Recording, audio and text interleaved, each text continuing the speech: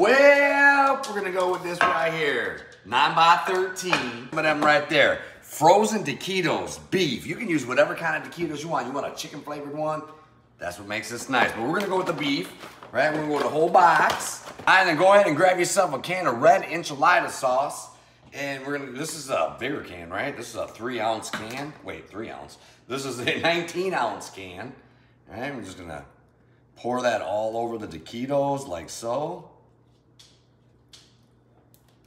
Once you got that down, you're gonna go, I'm gonna go with a mild pico de gallo, right? But I'm not gonna use all of this because I want a little for later because we're gonna cook some of the pico de gallo like so and get that on there as much as you want.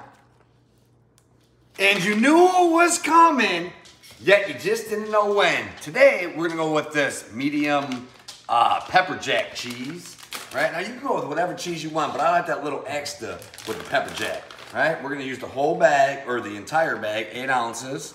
And we'll get that on there. All right, now we're gonna go with some green chilies, right? We're just gonna grab some of that. Just gonna kind of lightly add a little of that on top of the cheese.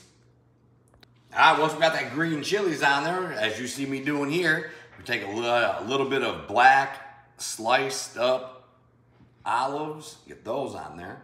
All right, we're gonna go 400 degrees, bake Fahrenheit, and uh, we're gonna cook this per packet to uh, directions when it comes to the taquitos. So whatever your box says and temperature, and we need the cheese to melt, the sauce to heat up. So I might keep it in there a little bit longer. You just gotta play it by ear, but at least by package uh, instructions. Okay, not long at all. Sauce is bubbling, cheese is melted, taquitos are heated through, right? Reserve some of that pico de gallo for the top. So I got some heated up pico and of course for the garnish, get that on there. Then we're gonna go with a little green onion chopped, fresh cilantro, and would you look at that right there. The easiest taquito bake, and it's delicious and fast to make. Now I've had this before, or similar ones, it's so delicious. If you haven't tried this, you guys really need to get out there and make this.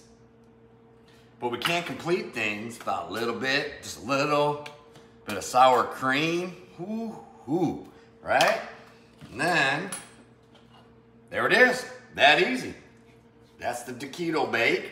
mm-hmm. Bon appetit. Mm-hmm. Oh.